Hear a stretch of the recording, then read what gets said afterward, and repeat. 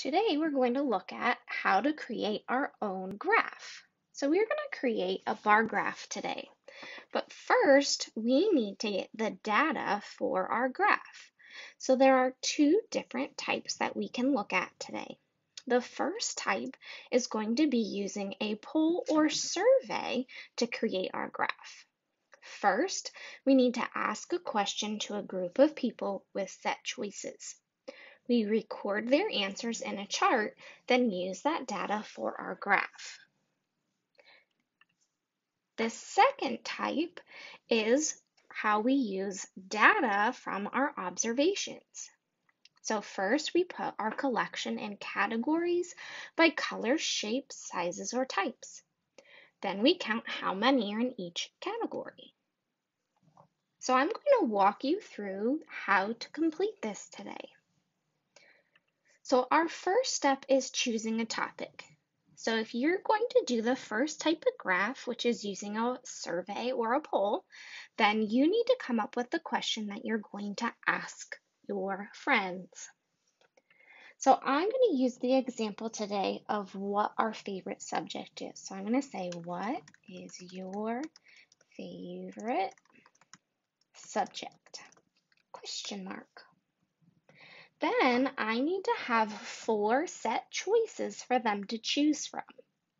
So I'm going to type in for my first one math, then spelling, reading, or writing. So those will be the four choices that I'll give my friends when I ask them the question. If you're going to do the second one today, so maybe you don't have people to ask questions to mm-hmm. because you want to ask a group of people. So I'd say around at least 10 people would be a good start to a survey. So maybe I don't have anyone to ask today. So instead, I'm just going to make a bar graph from my data. So I'm going to use some cereal. I'm going to use some Froot Loops. So I'm going to put in my collection is Froot Loops. My categories would be the colors of Froot Loops. So there are green Froot Loops, we have blue Froot Loops, we have purple Froot Loops, and there's that reddish pinkish color Froot Loop. So those would be my categories, and I would count how many in my bowl that I had. So I can even say Froot Loops in my bowl. Okay.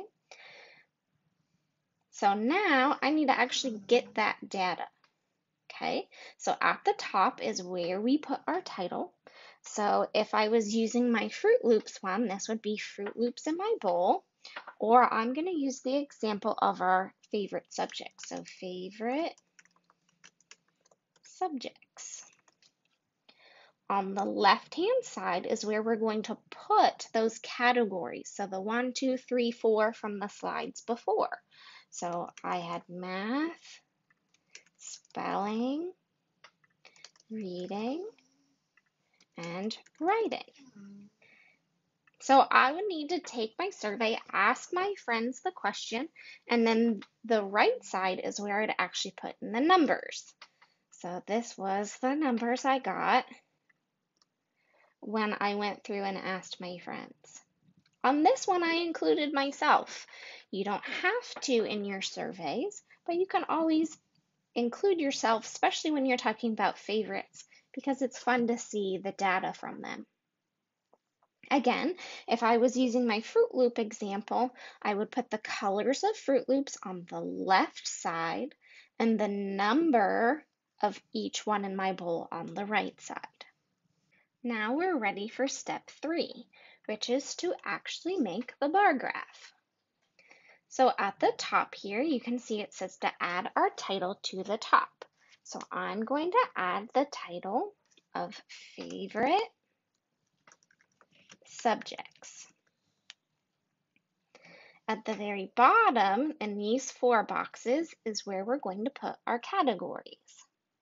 So I'm going to use math, spelling, reading, and then writing. If I was doing my Froot Loop examples, this is where I'd be putting the colors. Then we also have to label our sides, so our axes.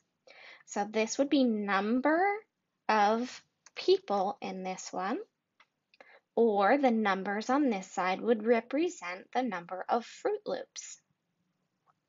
The bottom part is telling us our subjects. If I was using my Froot Loop example, I would put Froot Loops at the bottom so I knew what these were talking about. Then I need to make sure that my data is matching my chart or my table that I had already filled out. So my first one, math here, has three people. So I need to come to my bar graph and make it show three people. I can use my shapes tool that is at the top here. It says shape when I highlight over it. We're going to click on that. We'll go to shapes and then we're going to click on the first one, which is a rectangle. So there's a couple of ways we can do this. We can actually fill each little box or I can come to the three. You see how there's a little plus sign? I can come to the three and put that plus sign right in the corner. I want it on my left side. So the left corner. Then I'm going to click and drag it to the bottom right corner. You can see those blue little lines moving as I drag and drop. Once I get it down, my cursor fits right in there then I let go and I've made a rectangle.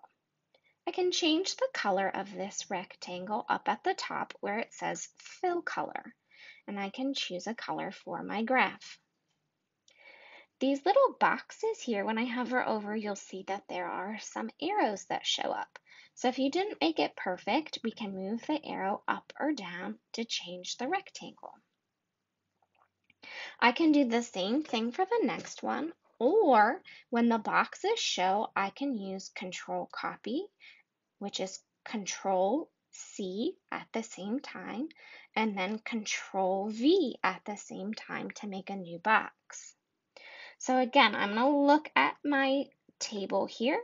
Spelling has five, so I need to move this. I'll drag and drop it to spelling. Then I'm going to use that arrow to bring it up to the top of the 5. Okay, then I need to see what my reading, so reading had 2. Again, if I need to, I can come back up to the shape tool, shapes, rectangle. I can make a new one by putting the cursor, that plus sign in the left corner and dragging down to the bottom right corner. I can change the color by coming up to this little paint can and selecting the color. For writing, I come back to my table and I look. There are six for writing. So again, I can do my Control C, Control V to make a new one and drag it over. Then I use the little box, make sure there's an arrow, so I'm not moving the whole thing. So when I see all four arrows, it means I'm going to move the whole shape. When I see the little arrows showing me the direction, that shows me what direction I'm changing the shape. So I need to go up to the 6. Again, I dragged and dropped. So now my table matches my bar graph and I'm all done. To make it look nice, I can go ahead and delete these arrows by selecting them, I can hold the shift key down and select a bunch of them at once. I can delete them to kind of clean up my graph a little bit. So it looks like it's a finished product. All right, now it's your turn to do these.